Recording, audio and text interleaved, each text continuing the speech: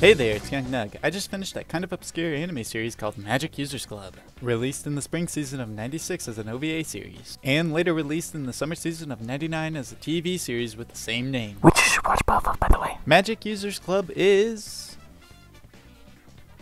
a really, really fun anime. Sae Sawanoguchi is our lovable airhead who really, really loves magic, despite being the weakest of the magic users. Her carefree personality and relationship with the other members is what drives the show to be more than just a show about people who can use magic, cause she believes that Magic has feelings too.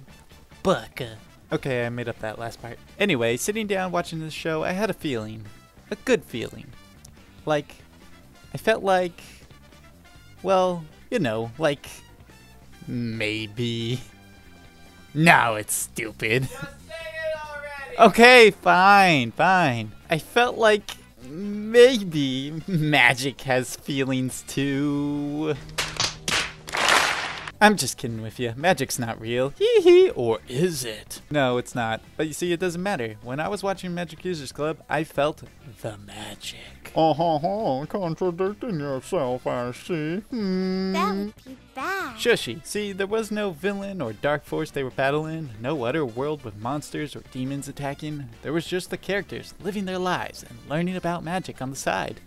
It was fun.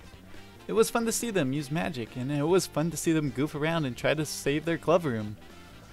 It was just fun.